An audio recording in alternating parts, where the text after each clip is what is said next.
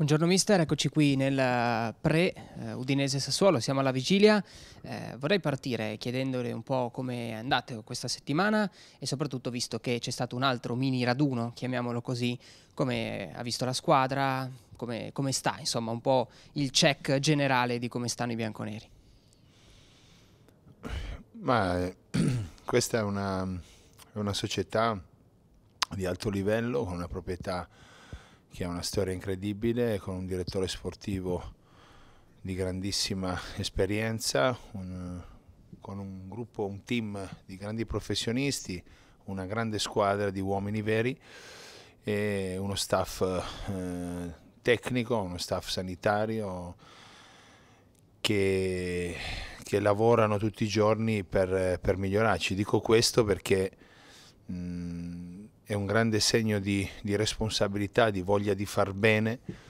di quello che devono fare i professionisti. E qua dentro eh, famiglia udinese siamo tutti eh, concentrati e lavoriamo tutti i giorni per offrire sempre il meglio di noi stessi. Quindi anche questa settimana questo raduno anticipato è significativo eh, e vuol dire proprio questo vuol dire che qua dentro siamo tutti sul pezzo e mm, non siamo stati contenti tutti quanti della prestazione di Torino, mm, non stiamo qua a ridirlo perché il passato non serve più e non ci interessa più, quello che conta è il presente, quindi proprio perché il presente è quello eh, più importante, qui abbiamo intensificato, intensificato ancora di più eh, il lavoro, eh, che è il dogma eh, la parte centrale di questo progetto udinese. Quindi un'ottima settimana con una squadra eh, prima di tutto fatta di uomini e poi da ottimi calciatori che si sono allenati come dei forsennati con grande fame, con grande concentrazione per preparare questa partita. Ha parlato di, di storia del, dell'Udinese, mi torna in mente un pochino anche quello che è accaduto ieri sera ad Alberto eh, Zaccheroni, se vuole dire qualcosa, insomma le, le condizioni sembrano comunque stabili, è sempre rimasto eh, cosciente da quello che sappiamo, anche se ovviamente sono condizioni serie, volevo sapere se aveva un messaggio da lanciare all'ex allenatore dell'Udinese. Ma sono molto dispiaciuto, mi ha fatto molta tristezza leggere l'accaduto, la, la, la questo episodio eh, purtroppo sfortunato che è successo a Alberto Zaccheroni è una persona che ho conosciuto anche personalmente, una bravissima persona, oltre che stato è un, eh, un, eh, un grandissimo allenatore che qui ha, ha fatto cose straordinarie, quindi gli sono vicino e come gli siamo tutti vicini, come, come famiglia udinese perché lui eh, guarisca presto e torni ad essere eh, quello di sempre, quindi faccio veramente un grandissimo in bocca al lupo per, per la guarigione. Ecco, eh, ha parlato di una squadra che si è allenata come dei forsennati, un gruppo unito, arriverà un gruppo come quello del Sassuolo che ha vinto due partite eh, consecutive e si è un po' tirato fuori dal, dalla zona pericolosa, anche se poi in realtà secondo me i neroverdi mai hanno realmente rischiato di essere invischiati nella lotta salvezza. Il fatto che il Sassuolo abbia vinto due partite, oltre alle caratteristiche che se vuole insomma mi, mi potrà dire eh, del Sassuolo, può anche far venire qui una squadra in fiducia che anziché chiudersi proverà a fare la partita e quindi l'idea di vedere una partita aperta da entrambe le parti può essere una lettura corretta di questo match? Ma può essere come non può essere, quindi sicuramente il Sassuolo noi lo rispettiamo perché è una squadra che ha all'interno degli ottimi calciatori, mm, sia nei, nei, diciamo, nelle, nei titolari che nelle alternative. Ehm, sono tutti, tanti sono nazionali, quindi è una squadra che è due anni che, che è allenata da Dionisi che, che, sta facendo un gran lavoro, eh, c'è la sua identità, c'è un lavoro anche degli, anni, degli altri allenatori negli anni, quindi una filosofia di un club eh, che vuole giocare un calcio tecnico eh, molto, molto intenso, quindi lo conosciamo bene il Sassuolo, è vero che loro vengono da due prestazioni eh, positive con due vittorie hanno attraversato anche loro un momento, un momento sicuramente meno, meno, meno bello, un po' opaco in termini di prestazione dei risultati, però oggi arriva una squadra che noi dobbiamo rispettare assolutamente, come facciamo sempre, perché noi eh, rispettiamo tutti, però abbiamo veramente la, la voglia la determinazione eh, e la volontà, tutti quanti insieme, di sfoderare una prestazione di grande livello in casa nostra, davanti al nostro pubblico e, e cercare di, attraverso prima una grande prestazione, di portare a casa un risultato importante. Questo lo dobbiamo fare però con ordine, con intelligenza, leggendo bene la partita, non, dove, non dobbiamo avere l'ossessione, eh, la frustrazione del risultato. Noi dobbiamo passare attraverso una prestazione lucida, organizzata, intelligente, perché le partite durano 100 minuti e noi dobbiamo stare in partita tutti i 100 minuti, cosa che secondo me non abbiamo fatto contro il Torino e questa squadra ha sempre dimostrato di stare in partita sempre perché abbiamo, abbiamo le qualità, le, la forza, l'intensità, la fisicità e soprattutto l'organizzazione per mettere in difficoltà anche il Sassuolo. Ecco, eh, dal punto di vista della squadra in generale, senza andare poi ovviamente più di tanto nello specifico, ultimamente c'erano stati alcuni problemi dal punto di vista anche fisico. Come sta la squadra? Recuperi qualcuno? Non recuperi nessuno? Siamo quelli dell'altra volta? Se puoi farci un po' il punto, senza ovviamente andare a svelare nulla.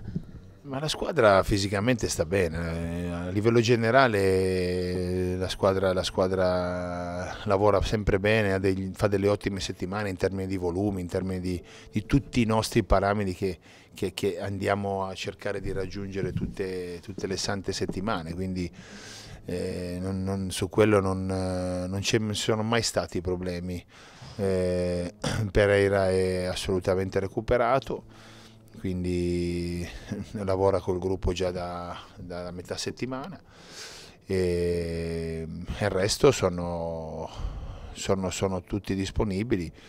per, per partecipare alla partita.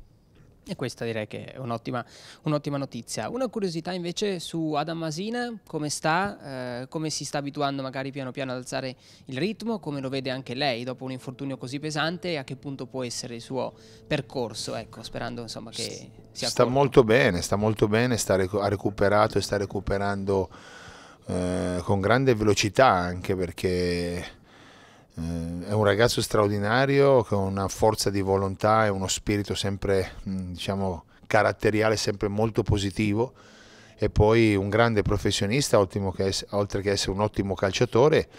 però diciamo che adesso che è la seconda settimana che lavora completamente con la squadra, ci vuole un po' di adattamento perché poi passi a condizionarti no? non solo a livello fisico ma anche a livello proprio di,